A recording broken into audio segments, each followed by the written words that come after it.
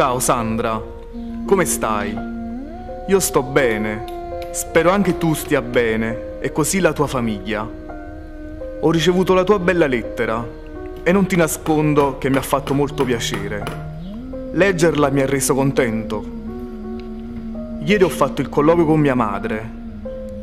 Mi ha detto che mandavi la lettera. Mi hai scritto delle belle parole che mi hanno fatto riflettere molto. Io non lo so, ma dove trovi tutta questa forza con tutti i problemi che hai? Se fino ad oggi non ti ho scritto è perché provavo vergogna. Non ho fatto che deluderti, ma il ricevere la tua lettera mi ha regalato una nuova occasione. Si è riacceso in me quello che oramai era spento.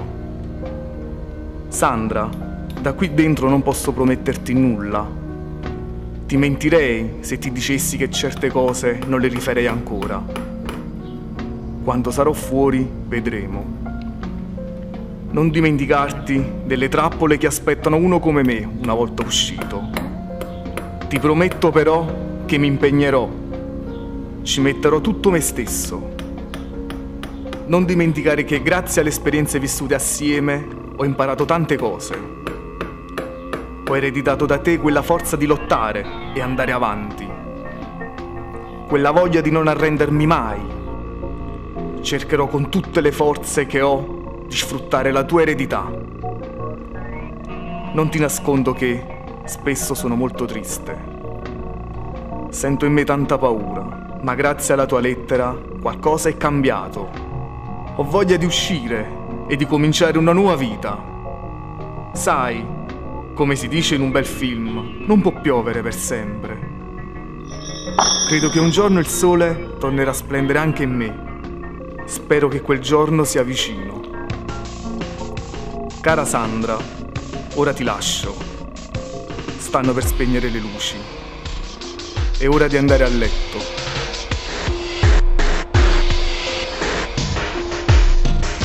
Il primo ragazzo tossicodipendente, un ragazzo che si rivolse a noi per aiuto perché era scappato dalla comunità, viveva per strada, per cui si rivolse a noi perché affamato e non sapeva che cosa fare.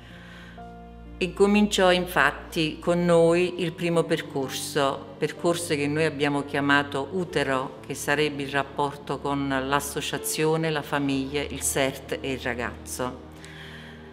Incominciammo a portare Franco a Caserta e dopo le prime difficoltà incominciammo a chiedere alla provincia la possibilità di aprire questo CERT a Maddalone. I tossicodipendenti provenienti da Maddalone erano obbligati quotidianamente ad un pendolarismo Maddaloni-Caserta, ovviamente non tutti potevano permettersi questo pendolarismo, questa perdita di tempo e quindi e poi diciamo nell'area maddalonese il problema tossicodipendenza era un problema molto molto eh, diffuso e grave e quindi l'esigenza di avere un di predisporre un servizio assistenziale eh, prossimo alle, diciamo, alle esigenze eh, delle persone in difficoltà era fondamentale. Esistono ancora tantissimi pregiudizi nei confronti di questi ragazzi e, e, e le, loro, le loro esigenze vengono spesso disattese. Franco dopo eh, l'esperienza con noi col CERT e la famiglia fu restituita alla piazza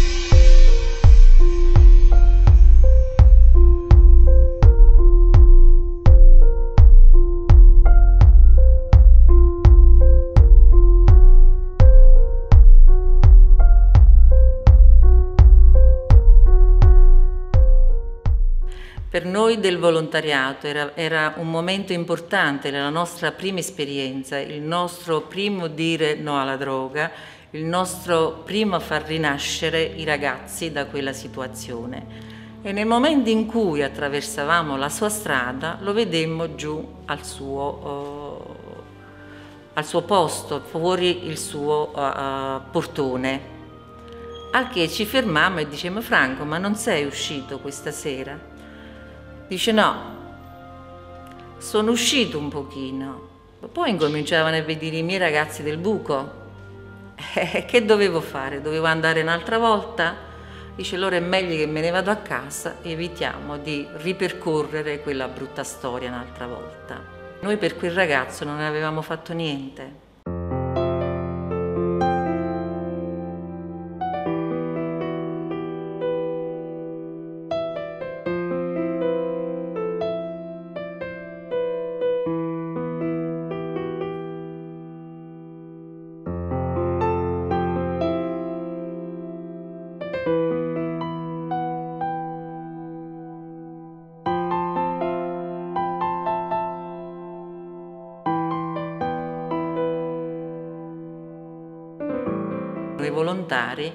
Andammo sul posto con le macchine a vedere lui come se la cavasse in mezzo a, alla gente, eh, come si rapportava con eh, gli amici che non avevano avuto il problema, come riuscisse a dire di no a qualcuno che lo invitasse ancora per andare a prendere la droga. Tre mesi di lavoro intorno a lui, intorno alla famiglia, intorno a tutto, per non aver raggiunto niente, non avevo più aggancio con l'esterno, per cui incominciammo a pensare di essere un poco più eh, attivi con le istituzioni, incominciamo dei rapporti importanti con la prefettura, con la questura, con la provincia e tutte le varie istituzioni di utenza del CERT di Maddaloni. Con la signora Sandra Migliaccia è venuto fuori che era, era possibile forse era arrivato il momento della maturazione di questa idea, di questa attività e insieme ci siamo ritrovati nel accogliere le persone che potevano essere più a rischio nella nostra associazione che nasceva sotto il nome di Sentieri Nuovi.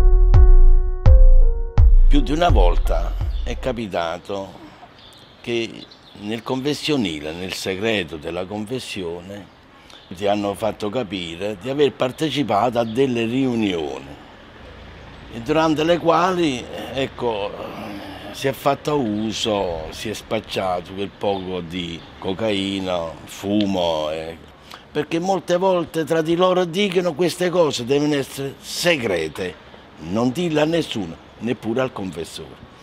Per eh, altre strade che non nascono direttamente dalla confessione eh, si è arrivato a conoscere, a sapere, stiamoci attenti alle compagnie, stiamoci attenti perché molte volte potrebbe succedere un qualche cosa, ma parlando sempre in genere.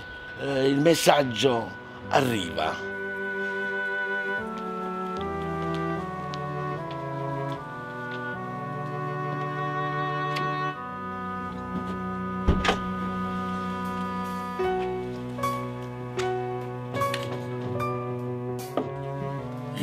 Sia nel tuo cuore, nelle tue parole, perché tu sappia ben confessare i tuoi peccati, nel nome del Padre e del Figlio e dello Spirito Santo. Amen.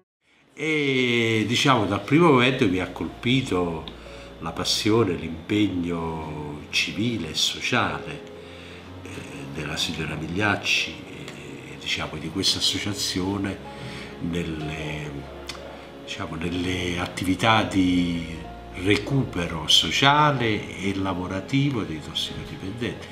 E in particolare mi ha, mi ha colpito il coraggio di una scommessa, quella della cooperativa sociale, una cooperativa sociale di tipo B, con eh, protagonisti attivi, tossicodipendenti attivi, eh, che attraverso il lavoro, oltre alle cure, dovevano riuscire a trovare quell'opportunità in più per una emancipazione. Si crea la cooperativa nonostante le sue difficoltà che veramente ci avevano seguito in questo cammino e quindi meritavano un premio.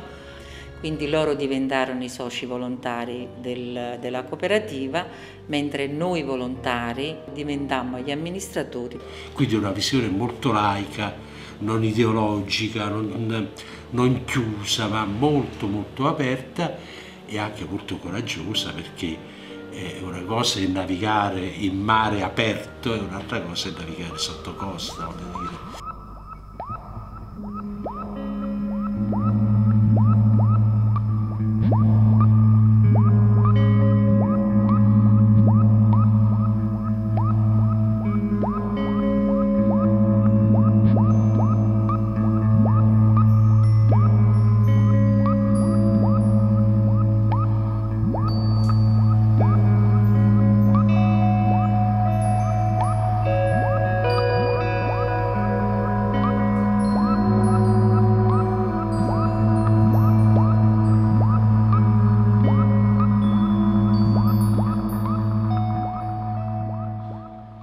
Interessa ovviamente approfondire il rapporto che esiste tra eh, legalità e tossicodipendenza, quindi diciamo anche questo aspetto generale è per noi importante.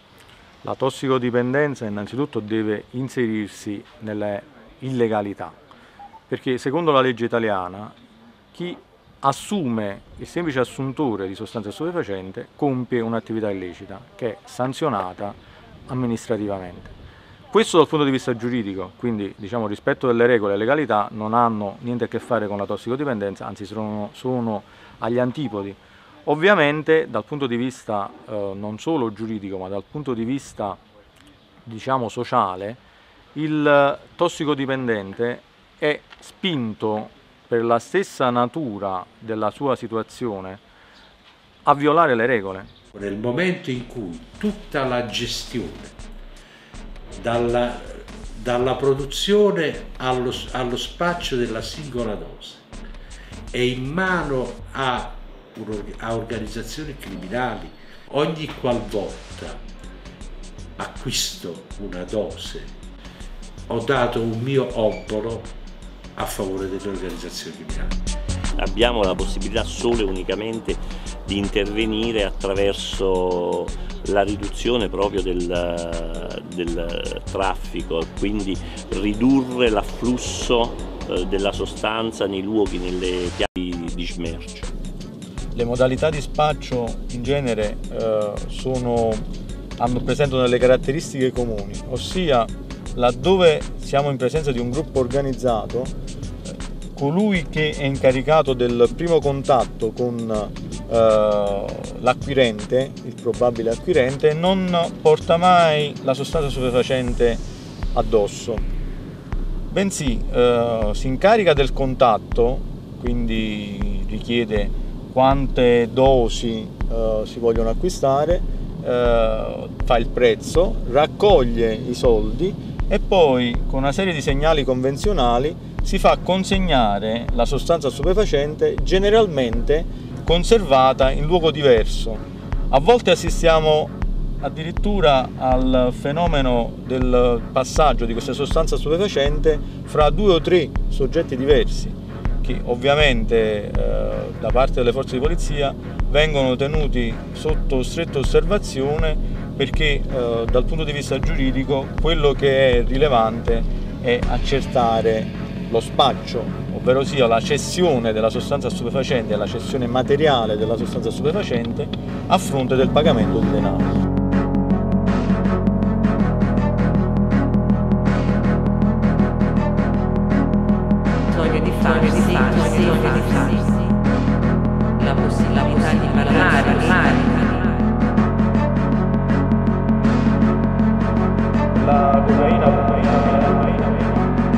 tagliata, tagliata quasi a 10 secondi. Quasi, quasi a 10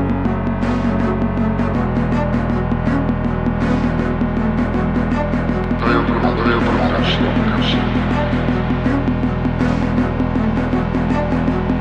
Delegamento. Molti operatori pensano che la violenza sia sempre, sempre, sempre a via questi ragazzi hanno tutti contro e nello stesso tempo li avevamo anche noi, perché noi eravamo veramente diventata la voce di questi ragazzi. Ognuno di loro ha avuto a che fare con la giustizia e eh, aveva qualcosa da pagare anche diciamo, alla società in questo senso. E quindi non potevano eh, essere eh, gli amministratori di questa cooperativa.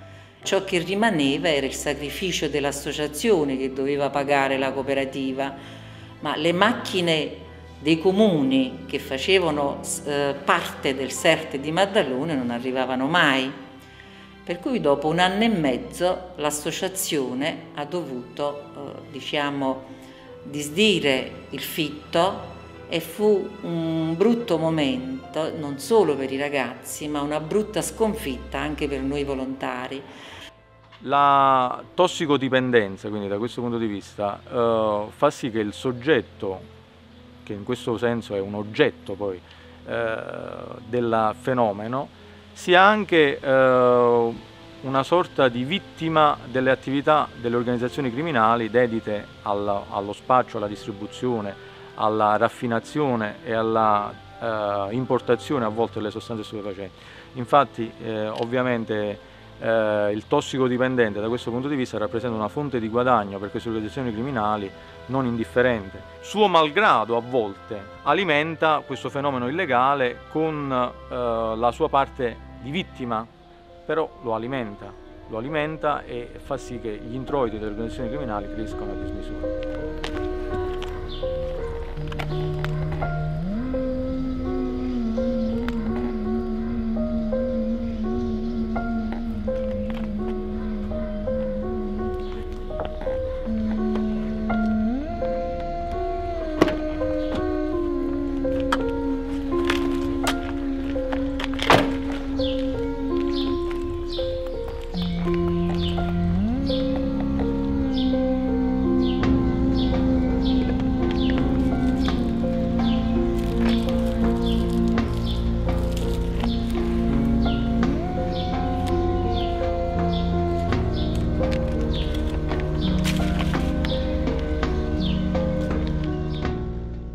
Volte il tossicodipendente i primi, eh, fra virgolette, nemici che incontra eh, nella sua volontà di procurarsi lo stupefacente sono proprio i più stretti familiari, i genitori, fratelli, sorelle. E quindi purché eh, i genitori diciamo, procurino il contante, eh, fino a che i genitori procurano il contante, il eh, tossicodipendente si comporta bene in famiglia. Allora quando cominciano i primi dinieghi, eh, anche perché a volte parliamo di situazioni anche degradate dal punto di vista economico, ecco che cominciano i maltrattamenti, le percosse, le lesioni, che a volte spingono eh, gli stessi familiari a denunciare il proprio figlio, il proprio parente stretto, pur di far cessare tali situazioni. Le esperienze che ci furono furono eh, da una parte traumatizzante per noi, ma dall'altra parte invece anche positive, in quanto si sviluppava quel rapporto umano, quella relazione necessaria con gli altri, in modo da poter eh, capire da dove erano partiti, cercare di eh, tutelarli nel miglior modo possibile. Eh, il progetto fu finanziato, nel 1996 è stata varata come unità mobile, eh, è stata battezzata col nome Capitanoncino, è un'unità eh, di strada eh, legata ad un progetto di intervento sulle dipendenze e quindi circola invece un progetto forte di vita che attraverso il lavoro degli operatori pubblici della sanità, dei CERT e dell'ASL Caserta 1 che noi rappresentiamo in qualche modo nel nostro lavoro quotidiano hanno possibilità di avere un riferimento costante. Qui ci sono anche dei ragazzi, dei volontari che lavorano? Eh, il lavoro sull'unità mobile è prevalentemente un lavoro che si muove con il forte contributo del, del volontariato. Come funziona qui? Spiegaci. Allora, praticamente il camper eh, è stato pensato qui come un'unità mobile eh, proprio perché eh, possano essere presenti gli operatori di questo servizio in più posti, come per esempio fuori le discoteche o in accompagnamento alle pattuglie della polizia, dei carabinieri, per fare sempre attività di prevenzione e di informazione rivolte ai ragazzi o a chiunque comunque ne abbia bisogno o abbia delle domande da fare. E quindi questo è una specie di punto di riferimento? Sì, è un punto di riferimento oltre che poi anche un punto proprio di incontro per i ragazzi perché comunque l'atmosfera è abbastanza eh, informale e permette ai ragazzi quindi di eh, incontrarsi e riunirsi. Giorno per giorno, non è un quindi in qualche modo sei inserito, troppo... in un, in un percorso, vivi questa esperienza in comune con queste persone. Sì, ma è, ed è in movimento, non è dire che ci vediamo una volta a settimana è sbagliato, perché non è così. Ci sentiamo, ci rivediamo, ci vediamo perché andiamo a giocare a pallone, andiamo a nuoto, collaboriamo, facciamo lavori insieme. Eh, sono persone speciali che dedicano la vita loro a noi dall'autista del camper che è una persona speciale, ma dal primo all'ultimo veramente sono persone particolari e speciali. Io non lo so, mi sento come abbracciato no? da tutti loro, come una famiglia che mi accompagna. Sì, diciamo così che con i ragazzi abbiamo un rapporto non come utente e collaboratore, a volte organizziamo delle partite a calcetto, organizziamo una pizza insieme, facciamo un lavoro non diciamo usuale dei, dei, dei soliti CERT. La società in genere eh, chi supera questa difficoltà non, non, è punitiva, fortemente punitiva. Noi lavoriamo perché questa, questa rete intorno sia capace di riaccogliere positivamente i ragazzi e le ragazze che ne, eh, ne escono da questo tutto. In sostanza le tue sono parole dove c'è un certo ottimismo nonostante tutto, nel senso che lì dove si riesce a fare un intervento di reintegrazione la società riesce a dare una nuova possibilità. Credo che non si possa fare questo lavoro se non c'è eh, l'idea del cambiamento possibile per questi ragazzi. Eh, molti operatori pensano che la dipendenza sia per sempre a vita. Eh, noi fortunatamente abbiamo avuto modo di verificare e vedere che eh, da questa condizione è possibile eh, uscirne attraverso un percorso che è di ripresa della propria vita.